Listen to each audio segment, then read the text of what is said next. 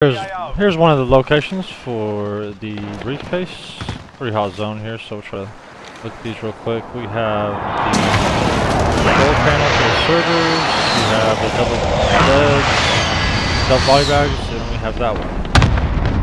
So what I do is, I just hit Windows print screen, or you can take a picture with your phone. And Windows print screens again, just to continue to pull it up real fast. And now I'm to go off to the double beds first. Um, and the control panel. Control panel and the double beds.